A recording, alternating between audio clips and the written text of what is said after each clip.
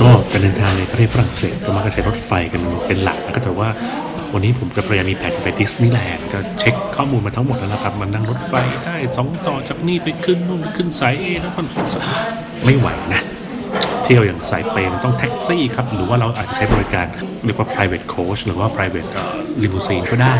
ซึ่งจริงๆแล้วราคาไม่ได้แพงนะครับ เท่าที่เช็คมาเนี่ย จากโรงแรมผมไปดิสนีย์แลนด์ไม่เกิน 3 คนนะครับ กระเป๋าไม่เกิน4ใบ70 ยูโรเอง ซึ่งถือว่าผมว่ารับได้กับระยะทางประมาณ 58 กิโลเมตร ก็เลยโทรจองเมื่อคืนเรียบร้อยนะฮะนัด10โมงเช้า10โมง20มันยังไม่มา เขาบอกว่า เอ่อเกิดความผิดพลาดในการสื่อสารกับรถนิดหน่อยนะฮะจะมา10โมงครึ่งก็ไม่ว่ากันครับ เดี๋ยวเรารอรถมาเรามาดูกันต่อว่ารถจะเป็นยังไงขับรถไปยังไงอะไรยังไงบ้าง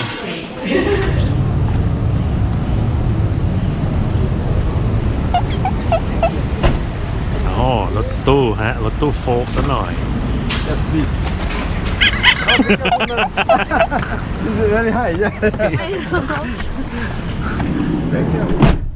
โอ้โห นั่งได้ทั้งบ้านเลยเนี่ย มากันสองคนที่ขาดทุนเลยเนาะ คนขับน่ารักมาก ๆ ก็ยอมรับผิดนะครับจำเวลาผิดก็บอกว่านั่งรอเวลา นั่งเฉยๆอย่ารอ มึงก็รอกูก็รอ อุ้ยโทษอุ๊ยพูดจาไม่เพราะ คุณก็รอผมก็รอเขาวิ่งหน้าตาตื่นเลยครับน่ารักมาก ๆ ครับ ใส่สูตรพูดจาดีฮะสุภาพเรียบร้อยทีนี้แล้วก็เดินทางไปเที่ยวกันแล้ว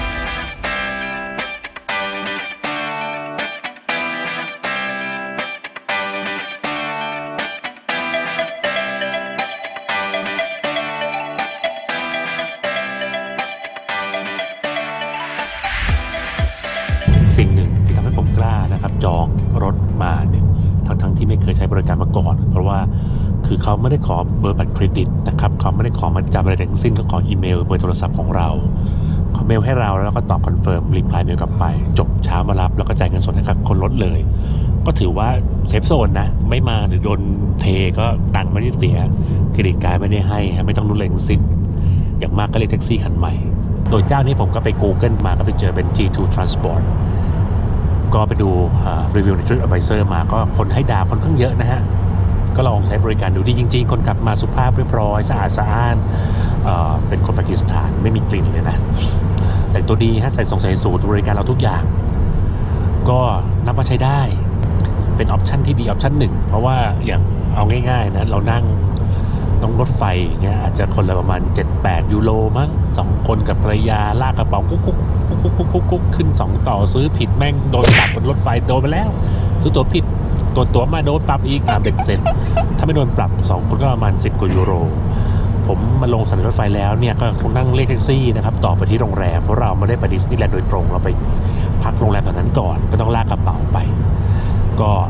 ไปลุ้นหลงอีกนะกับรถไฟลุ้นหลงอีกเพราะว่านานๆมาทีใช่ไหมมันไม่ใช่ถิ่นเรา เดินทางก็จจะปวดหัวนิดหน่อย ฉะนั้นผมว่าจ่ายแพงขึ้นมาอีกสักนิดนึงเนี่ยอีเมลเรทที่รับได้เอ่อ70ยูโรเนี่ยได้ความสะดวกสบายแล้วก็เรียกว่า hassle free นะ ไม่มีการปวดหัว ไม่ต้องมานั่งรูดไม่ต้องมาเปิดแผนที่ไม่ต้องมานั่งเลิกลากเป็นอีกเหลี่ยงแบบว่าเลี้ยวซ้ายเลี้ยวขวาดีวะอะไรอย่างเงี้ยก็เท่าที่สอบถามกับคนขับรถนะครับ ถ้าเกิดผมเรียกจากโรงแรมที่อยู่ในเมืองแถบ ย่านโอเปร่าไปสนามบินชาร์ลเดอโกลครับกลับวางแผนไว้ก่อนเลย ถามว่าเท่าไหร่ ก็บอกว่าโดยก็ 60 ยูโรนะประมาณ2อสคนก็ 60 ยูโร ก็ถือว่ารับได้เพราะว่าขามาแท็กซี่จากสนามบินมาก็เหมามา 50ขากลับ 60แล้วได้รถที่คันใหญ่ขนาดนี้นะครับกระโปรงกระเป๋าเราเนี่ยขึ้นได้สะดวกไม่ต้องลุ้นแท็กซี่ว่ายัดลงไหมประตูกระแทกกระเป๋าเราไหมอะไรอย่างเงี้ยก็ถือว่าเป็นออปชันที่ดีนะสงสัยขากลับไปใช้บริการเจ้านี้แหละ ตามสไตล์ พี่อัดขี้ติขี้บ่นนะนะก็ต้องบอกว่ารถเนี่ยเป็นโฟล์คที่แบบกว้างขวางนั่งสบายที่นั่งเยอะแยะมากมายนะเอ็นบอกไม่ได้ครับหลังตรงประหนึ่งเอ่อนั่งเรียนหนังสือสมัย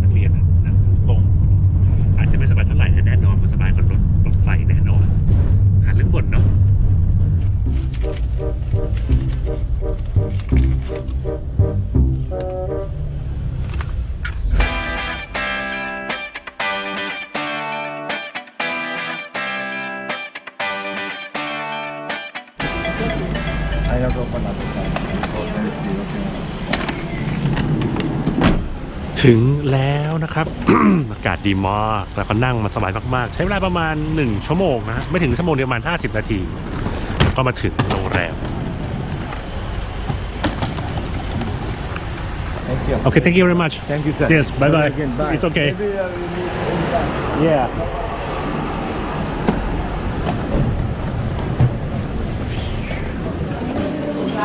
ถือว่าเป็นการเดินทางนะครับ ประมาณ 55 นาทีที่สะดวกสบายแล้วก็ได้ความรู้เยอะแล้วก็จากคนกับรถนะครับ ถามนู่นถามนี่ซอกแซกซอกแซกไปเรื่อยๆนะครับแล้วก็ชี้บอกทางตลอดเดี๋ยวโรงแรมอยู่หน้าอาคารถนนไปมีร้านอาหารเลี้ยวฟ้าไปนิดนี่อะไรอย่างเงี้ยก็ถือว่าเป็นอะไรที่เออฟินไปทางหนึ่งนะครับ กับการเดินทาง